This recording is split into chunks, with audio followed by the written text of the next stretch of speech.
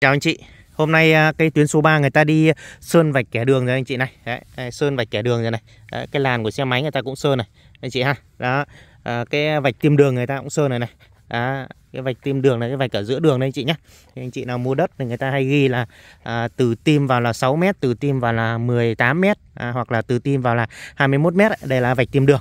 À, còn về giao thông ấy thì là à, cái vạch này là cái vạch à, à, ngăn cái à, hai chiều xe chạy ngược chiều nhau không được đèo vạch anh chị ha.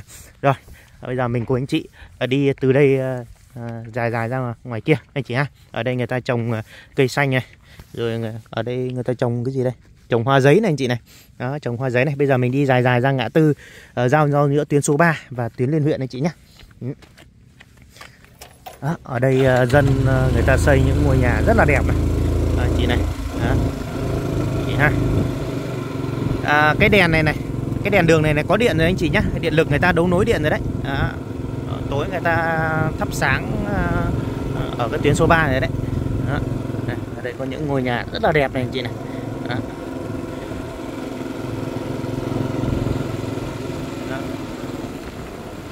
Là sơn ờ, sơn cái vạch kẻ đường nhìn cái đường nó khác hẳn đấy Đấy, anh chị ha. Đó. rất là đẹp luôn. Đó. À, đây có hai ngôi nhà rất là to này. Đó. cái cây hoa giấy này này nó lớn rất là nhanh nha anh chị nhá. Vài tháng nữa thôi là nó lên rất là nhanh. Vài tháng nữa là nó xanh um luôn. Đó. cái cây này lớn cũng nhanh này. Cái cây cây cây xanh này này. Rồi, hôm nay nhìn đẹp anh chị ha. Rất là đẹp luôn. Đó. cái à, tuyến liên huyện này người ta đang thi công này cái video sau mình sẽ quay từ cái tuyến số 3 này sang tuyến số 4 nhá anh chị ha. Cái tuyến tuyến, tuyến liên huyện này người ta đang thi công từ tuyến số 3 sang tuyến số 4 sang ủy ban Tân Lợi luôn đấy anh chị. Đó. Này, anh chị nào mà vào đây trước khi mà vào đây từ cái thời gian mà tuyến số 3 này đang thi công á thì bây giờ quay lại đây thì không nhận ra đâu. Vì cái tuyến ờ, liên huyện này người ta làm khá là đẹp này. Đó, hôm nay ờ, cái đoạn này người ta sơn cái vạch ờ, đường cho người đi bộ này, rất là đẹp này. Đây, mình quay lại nhé. Đó anh chị này. Đó, đẹp ha rất là đẹp. Bây giờ mình chạy sang bên kia một chút nhé. Mấy hôm nữa cái đường này làm xong này nó đấu nối vào đây nhìn đẹp lắm anh chị. Đây. Sơn cái vạch kẻ đường cái nhìn nó khác ngay anh chị ạ. Đó, chị thấy không đây này cái hoa giấy bên này cái hoa giấy bên này người ta trồng ờ, nhìn nó tốt hơn bên kia. Bên kia nó, nó... bên này người ta trồng trước anh chị ạ. Bên này trồng trước hay sao đấy. Trồng vài ngày là nó lên ờ, rất là nhanh. Cái hoa giấy lên nhanh lắm. Đây anh chị này. Đó. đẹp nhỉ? Rất là đẹp luôn. Đấy nếu mà không có đường không có đường xá cầu cống thì làm gì mà dân làm gì mà có tiền mà xây những cái ngôi nhà to như này anh chị ha?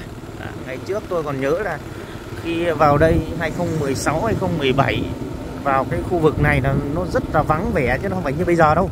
Vắng lắm. Đấy dân là chỉ ở những cái nhà nhỏ nhỏ nhỏ nhỏ ụp sụp thôi. Nhưng mà có đường xá cái nhà đầu tư người ta về đây. À, bắt đầu là công nghiệp nó về, giá đất nó lên thì bắt đầu người dân người dân địa phương là người hưởng lợi đầu tiên đó, người ta tưới hoa này đó. thì bắt đầu mới có tiền để xây những ngôi nhà đẹp như này chứ anh chị ạ đó. chúc mừng tất cả những cái bà con ở khu vực này, bà con người dân địa phương ở đây này để bao nhiêu năm vất vả, khổ, cực bây giờ công nghiệp nó về, đường xá nó về thì thay đổi nguyên cái bộ mặt của địa phương anh chị ha và người dân là người hưởng lợi đầu tiên anh chị ạ. Công nghiệp về đường xá ngon lành thì đường xá ngon lành thì bắt đầu về công nghiệp nó mới về nó mới mở. Mở thì nó mới thu hút các công ty sản xuất đúng không ạ? Thì mới tạo công ăn việc làm. À, thì tạo cái nguồn thu cho người dân địa phương của chúng ta. Thì mình à, người dân ở đây thì có đất có đai sẵn rồi thì không làm công nhân thì mình à, mình mình mình, mình bắt đầu mình xây nhà trọ cho công nhân ở địa phương khác, người ta đến đây người ta làm công nhân này, người ta thuê nhà, người ta ở, rồi là mở tạp hóa, mình bán hàng cho người ta, đúng không ạ? Cứ có đông người ở là sẽ kích cầu cái cái sức mua. Đó. nó kích cầu cái sức mua lên thì buôn bán được. Đó. nhà ở thì cho thuê được, đúng không ạ? Thế thì mình có tiền thôi rất là đẹp anh chị ạ. Cái tuyến số 4 nó y như tuyến số 3 này luôn. Đó, chỉ khoảng vài tháng nữa thôi nó đẹp y như này luôn anh chị ạ. Không khác gì hết. Đấy đẹp không? Rất là đẹp luôn.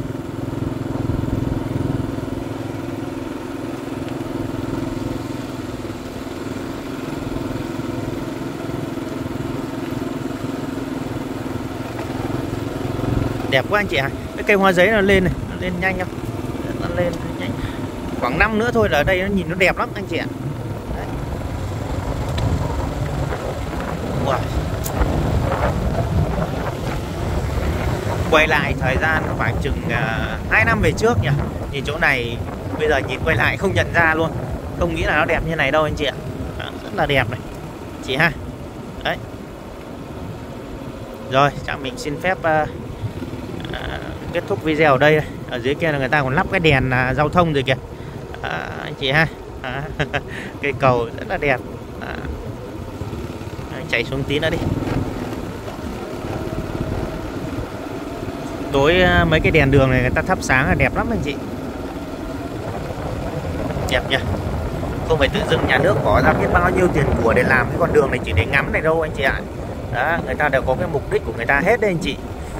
Chứ không phải là làm đẹp để cho như mình chạy xe này đi quay video đâu không có đâu anh chị ạ.